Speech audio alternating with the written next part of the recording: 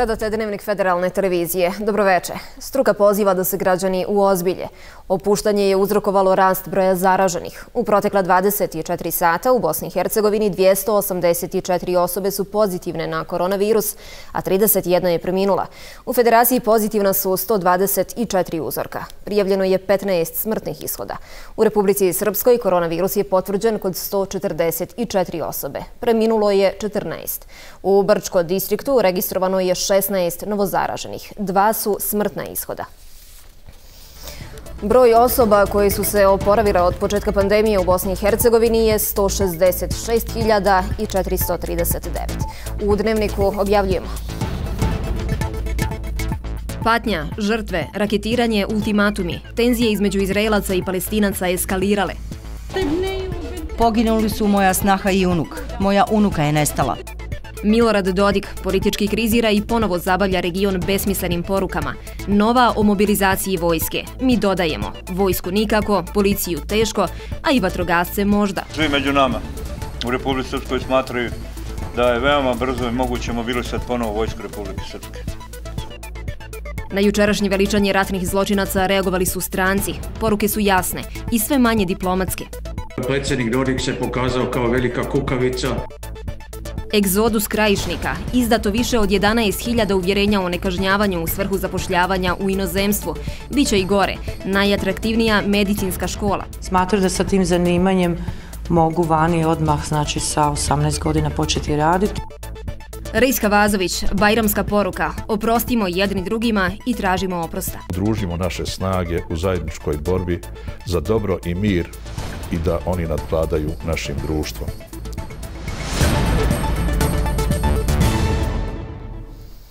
Izraelsko-palestinski sukob se rasplamsava. Rakete padaju na izraelske gradove, avioni bombarduju pojas gaze.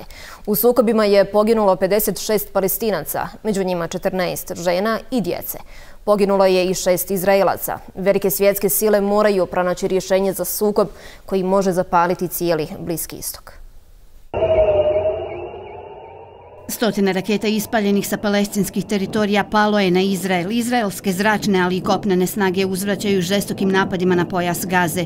Srušena je više spratnica koja je tvrde Izraelci služila kao mjesto za lansiranje Hamasovih raketa.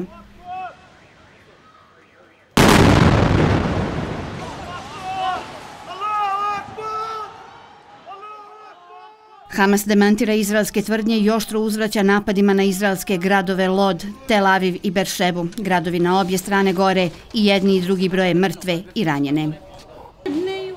Poginuli su moja snaha i unuk. Moja unuka je nestala. Jevreji ciljaju žene i djecu. Moja snaha je bila u petom mjesecu trudnoće. Ovo je terorizam. Bombardirali su bez ikakvog upozorenja. U gradovima sa mješovitim jevrejskim i arapskim stanovništvom nemiri. U Lodu su, navode izraelski izvor, Arapi zapalili tri sinagoge prodavnice, desetine automobila. U gradu je uvedeno vanredno stanje na ulicama jake policijske snage. Scena tog masakra u lodu i nemiri širom zemlje koje pokreće krvoločna arapska rulja, uzranjavanje ljudi, uništavanje imovine i skrnavljenje svetih jevrejskih mjesta je neoprostivo. Premijer Benjamin Netanjahu šalje palestincima novu, oštru poruku. Ti sinovi tame, teroristi iz Hamasa i islamskog džihada, snose odgovornost. Nedavno smo eliminirali više komandante u sjedištu Hamasa, uključujući komandanta grada Gaze. Ovo je samo početak. Udarit ćemo na njih onako kako nisu ni sanjali. Iz Hamasa poručuju, spremni smo i za eskalaciju sukoba, ali i za zatišje. Uvjet je, kažu, okončanje agresije u istočnom Jerusalemu. Egipatski posrednici rade na medijaciju u prekidu vatre. Međutim, pojedini analitičari navode da Izrael nije zainteresiran za okončanje borbi dok se ne postignu određeni vojni ciljevi. Sjedinjene države i Njemačka čvrsto su uz Izrael. U potpunosti podržavamo legitimno pravo Izraela da se brani. Osudili smo i osuđujemo raketne napade i to na najstrožiji mogući način. Vjerujemo da palestinci i izraelci jednako zaslužuju da žive u sigurnosti. Oštro osuđujemo raketne napade iz pojasa Gaze na izraelske gradove. To nasilje nema opravdanja. Izrael ima pravo da se brani od tih napada u skladu sa načelima samoodbrane. Moskva najoštrije osuđuje napade na civile bez obzira na njihov etnički ili vjerski identitet, te poziva obje strane da se uzdrže od eskalacije sukoba. Ankara, međutim, zahtjeva internacionalnu akciju protiv Izraela. Održana je i hitna sjednica Vijeća sigurnosti UN-a. Ponovo nisu zbog protivljenja Sjedinjenih država uspjeli usaglasiti zajednički stavo najnovijoj eskalaciji izraelsko-palestinskog sukoba, najvećeg od rata 2014. godine u pojasu Gaze. Sportski i korektno, ali žestoko reagovao je i jedan od najboljih nogometaša svijeta, Mohamed Salah. Izrazio je nezadovoljstvo nakon novog sukoba izraelske vojske i pripadnika pokreta Hamas, a u svom obraćanju prozvao je i premijera Velike Britanije, Borisa Johnsona. Pozivam sve svjetske vođe, uključujući i premijera države, koja je posljednje četiri godine moj dom, da naprave sve što je u njihovoj moći da bi odmah zaustavili nasilje i spriječili dodatne žrtve. Sad je dosta, poručio je Salah na Twitteru. Iako je prethodnih dana eskalirao, sukob Izraela i Palestine traje više od 70 godina. Sve je počelo kada su Ujedinjeni narodi 1947. donijeli rezoluciju kojom su podijelili Palestinu na izraelsku i arapsku zemlju. Protiv podjela arapske zemlje su bile izričite, no velike sile su se na njihove vapaje oglušile i nije im preostalo ništa drugo nego da krenu u sukob. Ukratko, to je geneza krvavih odnosa na Bliskom istoku. Upućeni tvrde da se ovo moglo izbjeći, da su glavni glavni akteri odigrali drugačije uloge. Za jedne su to arapske zemlje, za druge pak međunarodna zajednica koja je od početka naklonjena Izraelu, čime je pokazala svoje licemjerstvo.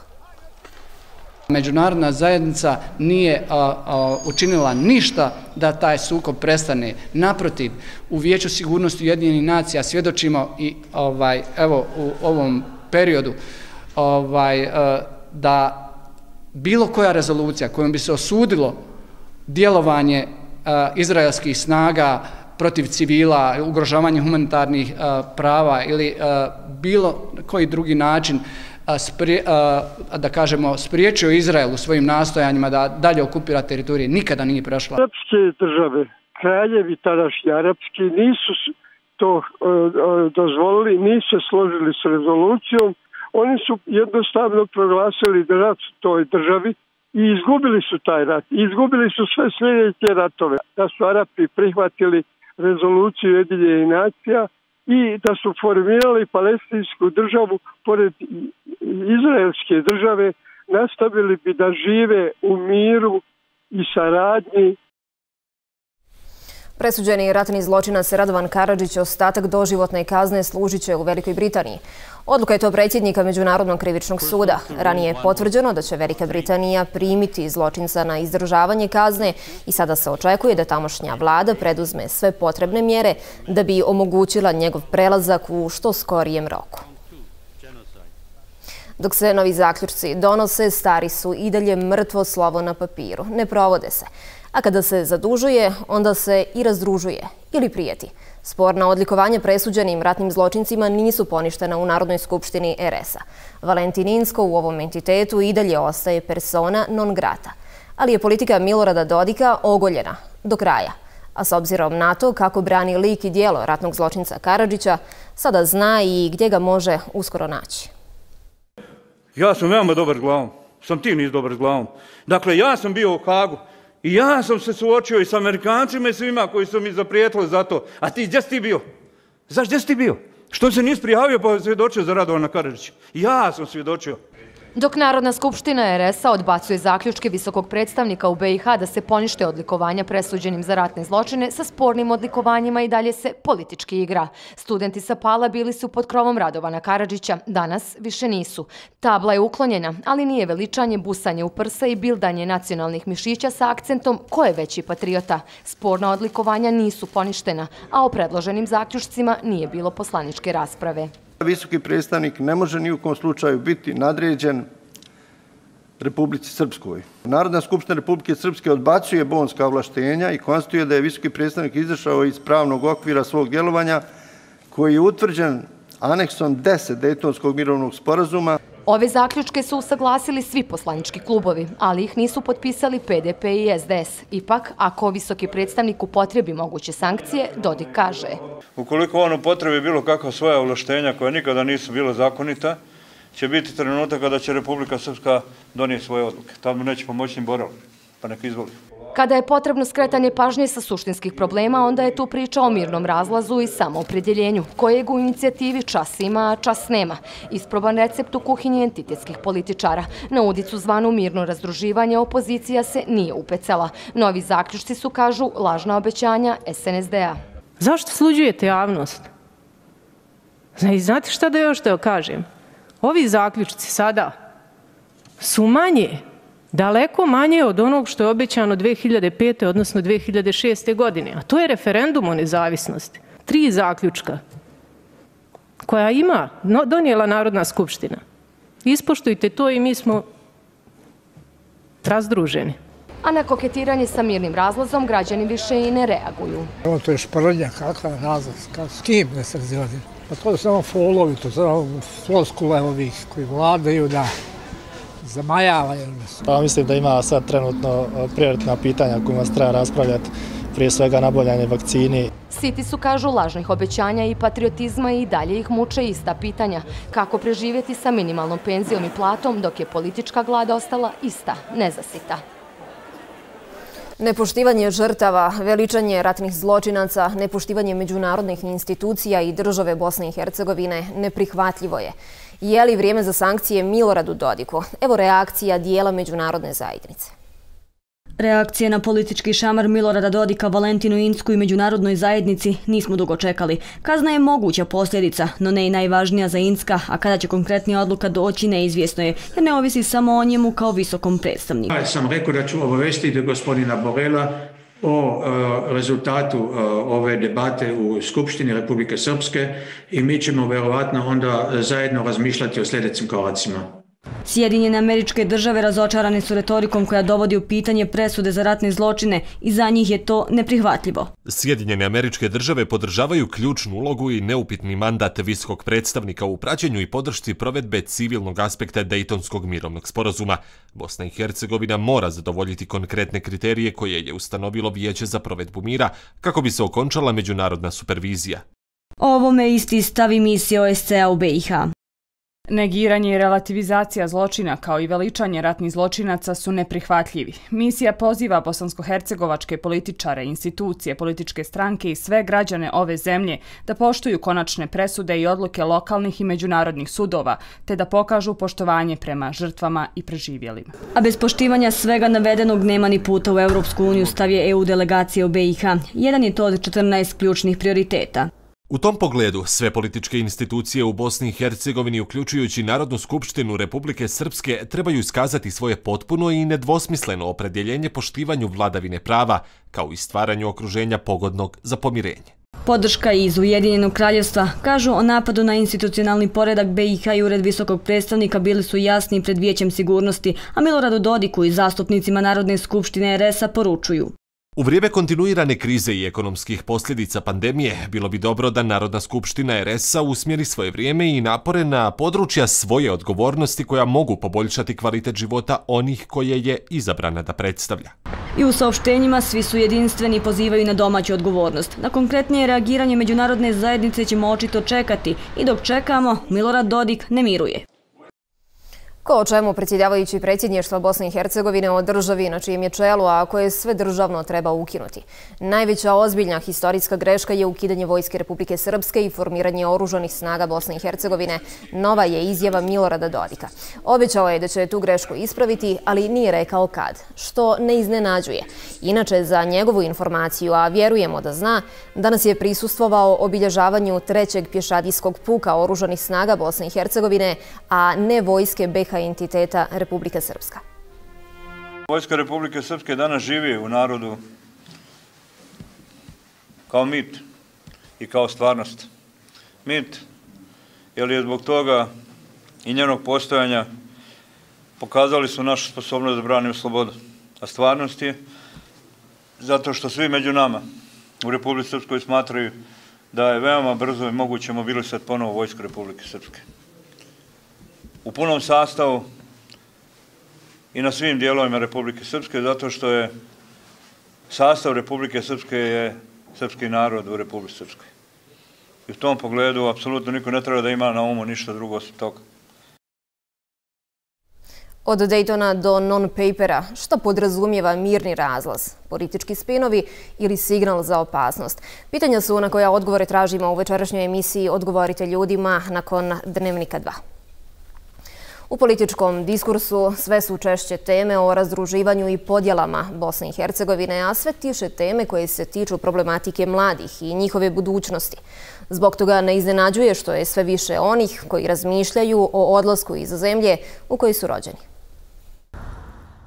Na mladima svijet ostaje, rečenica koju smo bezbroj puta čuli, ali pitanje je kakav se to svijet servira mladima u našoj zemlji, kako se sve glasnija nacionalistička i retorika podjela odražava na ovu populaciju.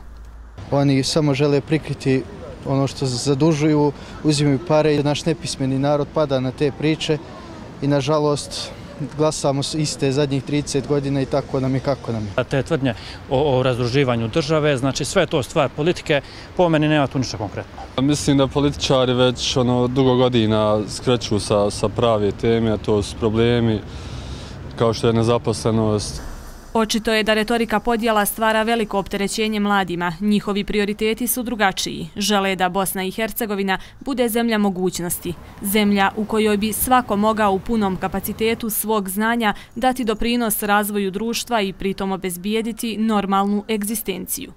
Zanimljivo je Jelena da smo upravo prethodnog vikenda bili u Banja Luci gdje smo okupili mlade ljude iz cijele BiH i niko ne priča o razroživanju.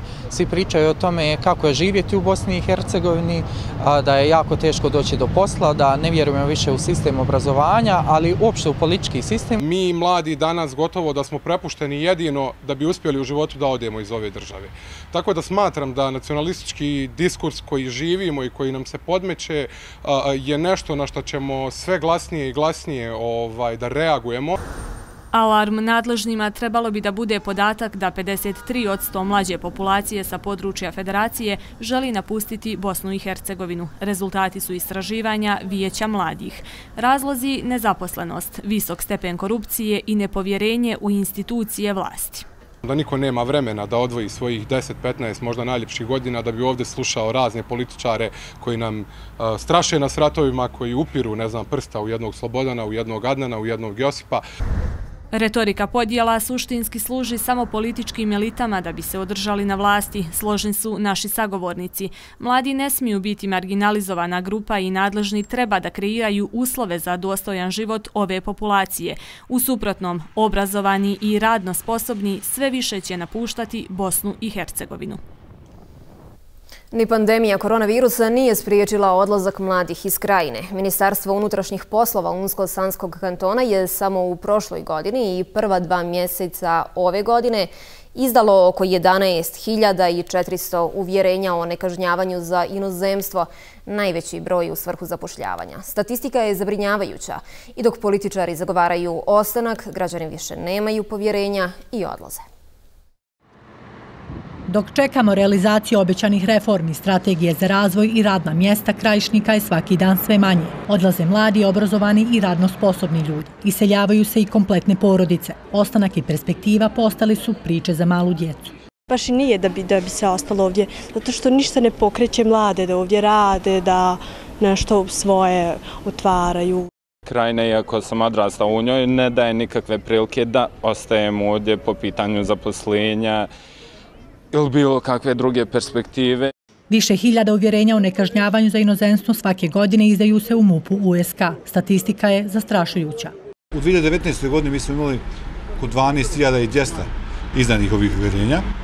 U 2020. godini za 3.000 manje, a evo u ova prva dva mjeseca ove godine oko 2.200 uvjerenja koji se izdaju za različite potrebe. Međutim, ovi podaci nisu potpuni, a i u službi za zapošljavanje USK tvrde da ne znaju stvarne brojke. Jedno je sigurno, broj odlazaka raste, a situacija je loša i kada govorimo o stanju radne snage. Demografska struktura ukazuje na uvrzanom starenje stanovništva, tako je na evidenciji nezaposlenih u Sanskom tonu u 36.000 nezaposlenih, ovaj, 46% osoba koje su 45 plus godina a one ispod 45 priliku za odlazak vide najčešće u medicinskoj struci. U prilog tome ide i činjenica da interes za upis u medicinsku školu neprestano raste. Smatruju da sa tim zanimanjem mogu vani odmah znači sa 18 godina početi raditi i ostvariti ono što ovdje ne bi nikad. Svakodnevno autobusi puni krajišnika i stari i mladih odlaze za boljim životom. Jedni zbog posla, drugi zbog školovanja, a odlaze i oni koji ne žele više da gledaju korupciju, političku podobnost i nepravdu u okruženju. Efekti mjera koje je vlada federacije donijela radi ublažavanja posljedica pandemije koronavirusa čini se najbolje su vidljivi u BPK Goražde. Tokom susreta entitetske i kantonalne izvršne vlasti razgovarano je i o privrednim aktivnostima, infrastrukturnim projektima, ali i novim investicijama. Goražde se polako oporavlja od pandemije koronavirusa, a to svjedoči relativno mali broj zaraženih na području ovoga kantona istaknuto je na sastanku delegacije vlade federacije sa predstavnicima izvršne vlasti BPK Goražde. 34 osobe su trenutno zaražene, a povoljna epidemiološka situacija doprinijela i brzom privrednom oporavku. Istaknuto je kako Goražde kao industrijsko područje sa kompanijama koje su izvozno orijentirane nije izostavljeno mjerama koje je federalna vlada provela u cilju pomoći privredi koja je bila veoma značajna kada je u pitanju federalno ministarstvo. E, privreda je osjetila tu podršku i nadamo se dakle da će ta podrška biti u toku 2021. godine, jer vi znate da je Bosansko-Podinski kanton, kanton koji je izvozno orijentisan i gdje mi e, vapimo za novim investicijama. Prema procjenama federalne vlade, potpora ovom kantonu sa nivoa federacije u posljednjih nekoliko mjeseci kroz razne projekte i mjere iznosila je oko 17 miliona maraka, što je svakako prema ocjeni federalnog premijera vrlo značajna pomoć.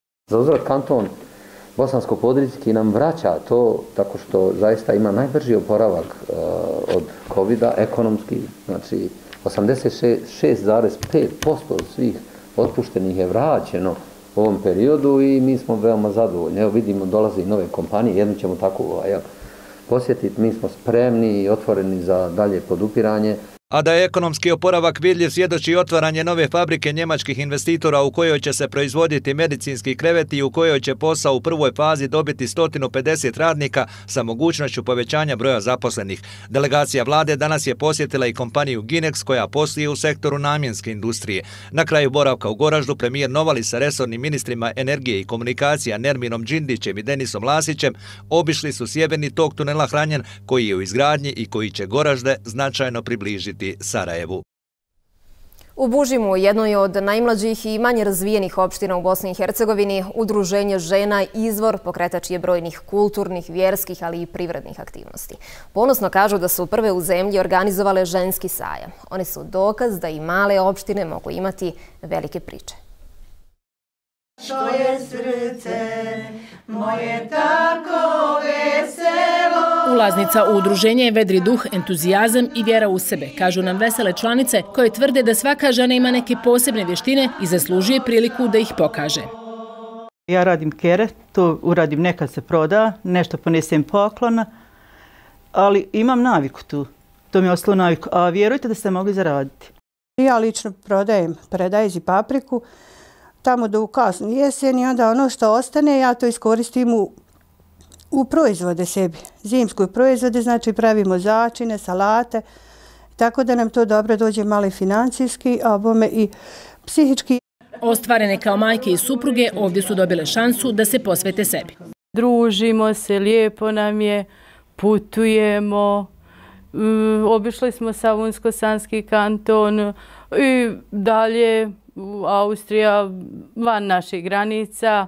Bile smo i u Turskoj. Ovog Ramazana su za nekoliko medijskih kuća radile ramazanski program, što je posebno oduševilo brojnu bužimsku, odnosno krajišku dijasporu. Ljudi nas zovu malte ne plaću od sreće jer su mogli vidjeti nešto svoje, jer su mogli vidjeti dijelić Bosne, jer su mogli osjetiti taj mir, taj, taj miris, mislim, ta, tu ljepotu Ramazana. Ljeto će, kažu, biti u znaku promocije turističkih destinacija Bužima. Snimiti jedan mali video filmić e, o tome, o tome mjestu, e, o starom gradu, o Svetinji, o Vještačkom jezeru. Uglavnom, radimo pozitivne stvari, e, dobro smo prihvaćene u lokalnoj zajednici. Mnoge od ovih žena upravo su ovdje prvi put uradile nešto kreativno, korisno, zaradile novac ili jednostavno prvi put radile nešto samo za sebe, što nam svima može biti i primjer i motiv da svakodnevno radimo na sebi. Povodom nastupajućeg Ramazanskog bajrama, Reisul Ulema Islamske zajednice u Bosni i Hercegovini Husein Efendije Kavazović uputio je vjernicima u zemlji i dijaspori bajramsku poruku. Pozvao je muslimane da skupa u miru i ljubavi sa svojim komšijama proslave dane bajrama. Posebno se prisjetio svih onih koji su preminuli u ovoj godini zbog pošasti koja nas je zahvatila, te je poželio brzo poravak onima koji se i danas bore sa ovim virusom, kao i dobro zdravlje svim ljekarima uključenim u borbu protiv epidemije. Braćo i sestre, Bajram je prilika da se okrenemo jedni drugima i da prevaziđemo teškoće koje nas opterećuju. Mi smo jedni drugima najbliži i najpotrebniji. Allah nam je dao veličanstvenu sposobnost da možemo uvidjeti vlastite pogreške i uvredljive riječi i postupke prema drugima, da ih priznamo sebi i zatražimo halala od drugih. Iskoristimo ove Mubarek dane da oprostimo jedni drugima i da u svom bratu i komšiji vidimo ono što je dobro i plemenito i ono što nas zbližava. Zatražimo jedni od drugih halala, oprostimo jedni drugima i pređimo preko hrđavih postupaka, otvorimo naša srca za druge i udruži, udružimo naše snage u zajedničkoj borbi za dobro i mir i da oni nadvladaju našim društvom. Svim muslimanima i muslimankama u Bosni i Hercegovini čestitam nastupajuće dane Ramazanskog Bajrama. Posebno čestitam našoj braći i sestrama u Srbiji, Hrvatskoj, Sloveniji, na Kosovu, u Crnoj Gori, Sjevernoj Makedoniji i u bošnjačkoj dijaspori, te svim muslimanima i muslimankama. Bajram Šerif, Mubarek Olsu. Gledali ste dnevnik sportske minute u nastavku. S vama je ubrzo Dario Mehmedović. Hvala na pažnji. Doviđenja.